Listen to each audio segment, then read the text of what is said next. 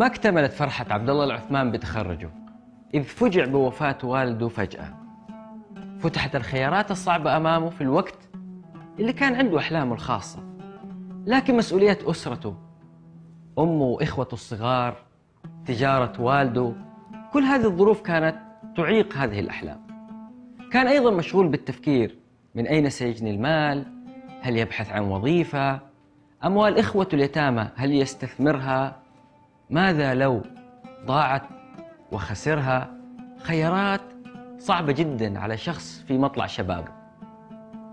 قبل ما نعرف اللي صار مع عبد الله العثمان يجب أن نعرف أن الشاب قليل الخبرة كان يملك ميزة اتخاذ القرار وكما تعلم في جامعته الحلول البرمجية قرر أن يجد حلولا اقتصادية لمستقبله ومستقبل أسرته.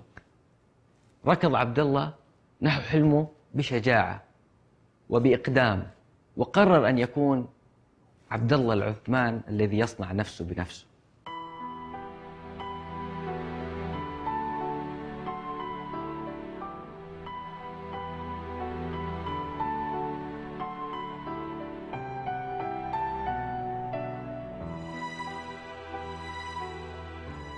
انهيت المرحلة الجامعية في عام 2007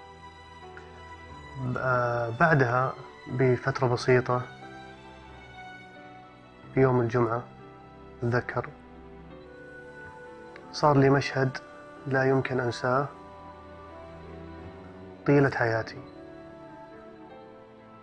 صلينا الجمعة أنا وإخواني. بعد ما صلينا العادة أن نحن نصلي مع الوالد ونجتمع سوا. فبعد ما صليت فقدت الوالد. فقلت بطلع أشوف الوالد. ف في البيت طلعت الوالد طقت علي الباب. رد علي فدخلت الغرفة. قلت يمكن الوالد نايم ولا شيء. فلما دخلت شفت الوالد نايم بشكل غريب يعني وجست شيء. كنت خايف من شيء ومن قوة الخوف يعني ما كنت أقدر أقرب. فناديته من بعيد. قلت له أبوي ترى صلينا. ولا كان يرد. فقربت منه مسكت يده حسيت انها قاسية شوي. فمن الخوف ما قدرت حتى أكمل. حسيت أنه في شيء.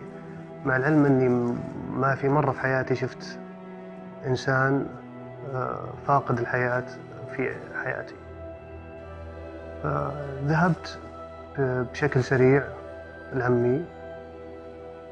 كلمت عمي قلت له يا عمي أنا أبغاك موضوع الحين بقابلك قابلني بشيء يمكن في خلال نص ساعة. دخلت أنا وياه شاف الوالد. كان الوالد متوفي. فكان مشهد قدام عيني لا يمكن أن أنساه. فال فأخذوه ودوا الوالد الله يغفر له للمغسلة. لزمت إني أنا أغسل الوالد. فدخلت على الوالد وكنت من وغسلته. الله يغفر له. ويجعل مثواه الجنة. وصلينا عليه. ودفناه أنا وإخواني. آه وبعدها الناس كلهم حتى في أتذكر لما كنت في المقبرة كان الناس كلهم راحوا وأنا وإخواني كان عندي إخوان صغار. آه إبراهيم سعود كانوا جالسين معاي وجالس معاهم. آه نشوف القبر. وجلسنا ممكن أكثر من ساعتين. فكان موقف لا يمكن أن أنساه.